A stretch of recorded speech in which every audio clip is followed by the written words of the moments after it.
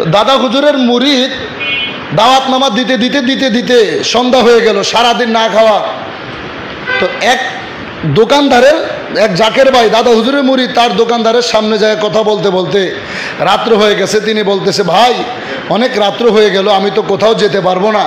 আজকে রাত্রিটুকু আপনার বাড়িতে থাকি, সকালবেলা আমি আবার দাওয়াত নামা নিয়ে বের হয়ে যাব। তো ওই যুগের মানুষ তো গরিব ছিল, রাত্রে থাকতে দিতে পেরেছে, কিন্তু কোনো খাবার দিতে পারে নাই, খাবার ছিল না ঘরে। যে পীর ভাইকে যে খাবার দিবে, ওই খাবারটা ঘরে ছিল না। কিছু চিরা ছিল, সামান্য চিরা দিয়ে পানি খেয়ে ঘুমিয়ে রইলেন।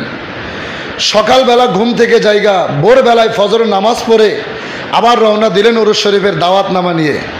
নদীপথে পাড়ি দিলেন, দেড় থেকে দুই মাইল নদী পাড়ি দিয়া মরুভূমির মানে একবারে বালুর মাঠ সেখানে কাশবন এই বনে দিয়ে হাঁটতেছে, আর চতুর্দিকে তাকাইতেছে যে কোনো একটা বাজার অথবা দোকান দেখা যায় কিনা। পেটে তো অনেক ক্ষুধা।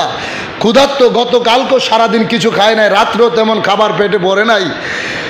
হাঁটতেছে আর খাবার খুঁজতেছে। হঠাৎ যাইতে যাইতে যাইতে যাইতে ওই ভূমির মাঝখানে দেখে একজন লোক দাঁড়িয়ে রয়েছে সুবাহ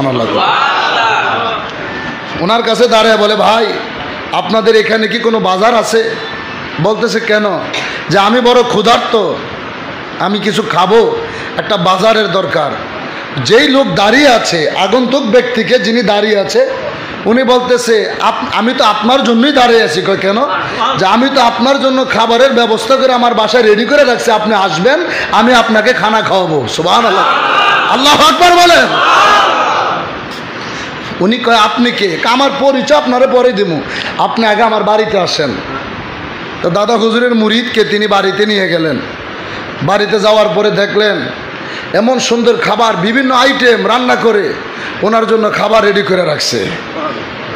তো দাদা হুজুরের মুরিদ খাবার খাচ্ছে আর চোখের পানি ছেড়ে কাঁদতেছে যে আমি এই মরুভূমির ভিতরে আমি আসব। কে তারে বলল? এখানে তো কোনো মানুষ নাই, ওনাকে আমি চিনিও না।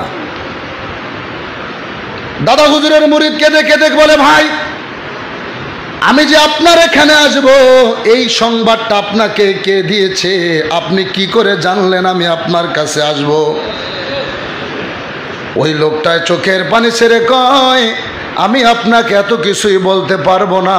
তবে একটা কথা আপনাকে বলি, আমার পীর খাজা ফরিদপুরি আমার জানে দিস আপনি এখানে আসবেন, আমি আপনার জন্য খাবারের আয়োজন করে রাখব।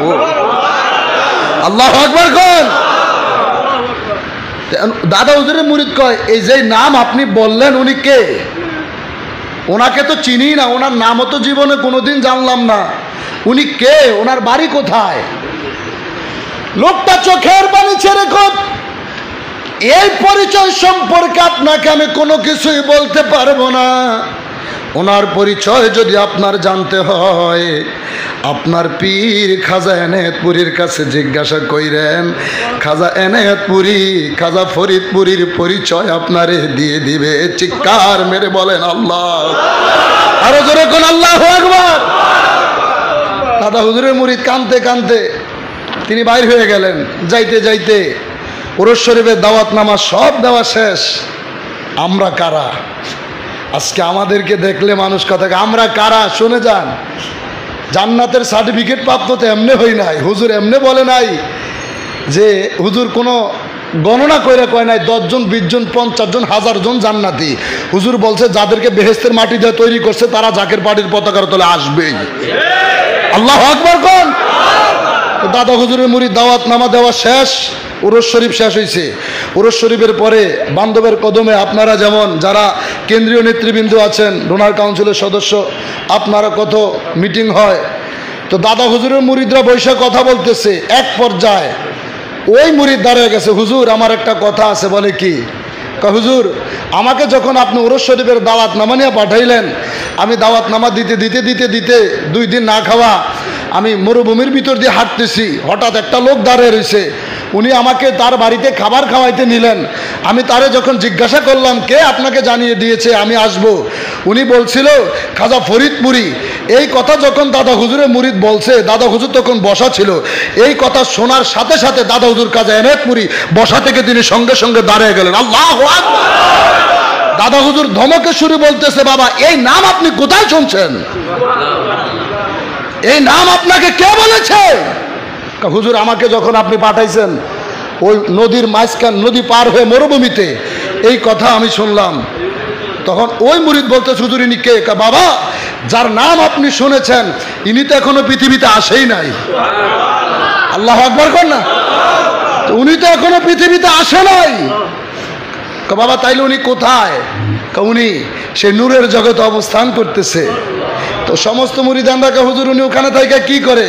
বাবা, উনি ওখানে থাইকা বৈশার হয় নাই। উনি নূরের জগতে চল্লিশ লক্ষ মানুষকে তিনি তরিকা দিবে, মুরিদ বানাবে। চুবান আল্লাহ কর। চল্লিশ লক্ষ মানুষকে তরিকা দিয়া মুরিদ বানায়া ইনি পৃথিবীতে আসবে। ওই ঘটনা ঘটার আট বছর পরে আমার ক্যাবলাজান পৃথিবীতে তাশ্রী বানছে আল্লাহ ওই ঘটনার আট বছর পর হুজুরের জন্ম হয়েছে এই পৃথিবীতে।